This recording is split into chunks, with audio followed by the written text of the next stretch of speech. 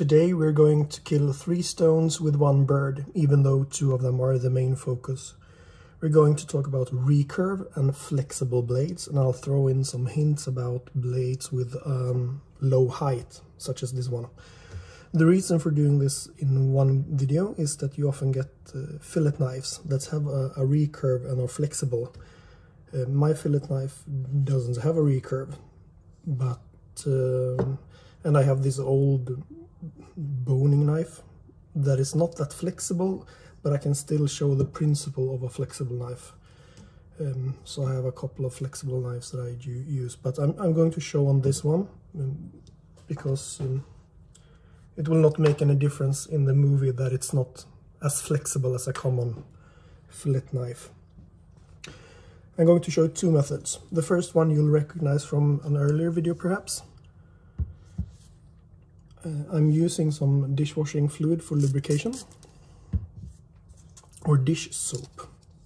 Uh, and I'm going to do the, the pen, the pen and sandpaper sharpening trick.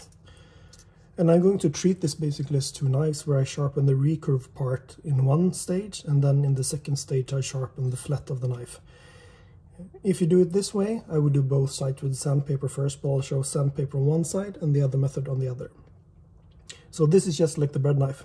You have to look the angle of the knife or the edge and sharpen as so as such. The paper I'm using here is a 400 grit Rhynowet paper. But I've done this with the yellow sanding paper that I happen to have in my shed, so it's not that important. And it's already developing a small burr, so this is rather quick.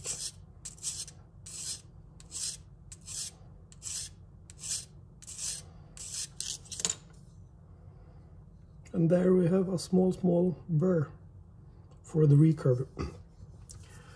For the other method then, the other method is to do it with whetstone. And this is this requires perhaps a bit more of an investment. so I have my stone holder and a wood block to get some elevation. And then I have my old soaking stones, which as you can see have been rounded off on one side. And this has been a very useful thing to have, so but still you need to you, need to do that on your stone and I've done that with my diamond lapping plate. This is an Atoma 140 uh, the method for doing it this way is to just sharpen the recurve on on the radius on the side of the stone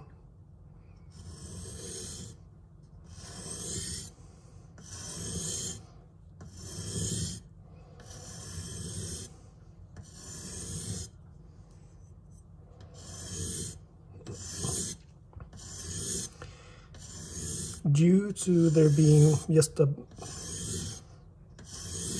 just just a little contact with the stone it might be easier to only do pushing strokes as it will be very easy to cut into the stone if you misangle it just the tiniest bit. But now there's a burr. So now the recurve part is done. Now comes the sharpening of the rest of the knife. And as I said I'll treat this part of the knife as, as a regular knife the problem with sharpening flexible blades is that you throw off the angle if you bend the blade. so what I do is that I place two fingers like this and I only sharpen the parts beneath the fingers and then I move the fingers along as I sharpen different sections of the blade. By doing that I can maintain a straight blade under my fingers at least. the second problem with these blades is that since they are so small, at least for me, I think it's hard to estimate the angle. So I, I need to be a bit more careful with actually looking at the angle on the stone because the height above the spine or the elevation of the spine is really low. But let's go.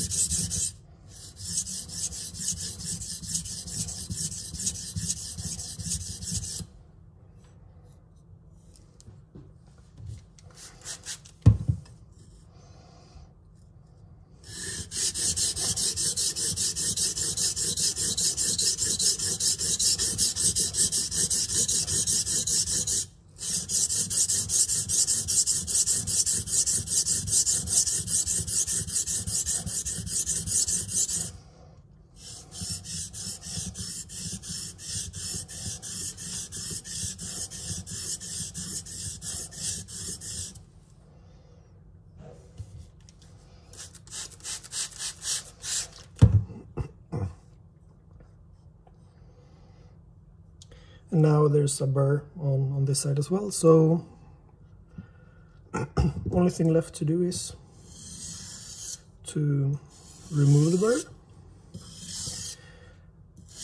And then you can decide if you want to go on with, with a new stone. This is a 500 stone and I prefer to do fast cutting stones because I don't enjoy sharpening these knives as much so I want to do it quickly. Apart from what I showed you here, you do the sharpening exactly as you would do any normal knife. The only difference is that you either use the sandpaper here or that you use the side of the stone for the recurve. But the procedure is as usual. You develop a burr, you switch side and develop a burr, and then you remove the burr, and then you decide if you want to progress to the next stone or not. Nothing more to it really. Um, biggest problem perhaps is to become comfortable sharpening with a rod or a pencil, and to sharpen on the side of a stone, which can be a bit tricky.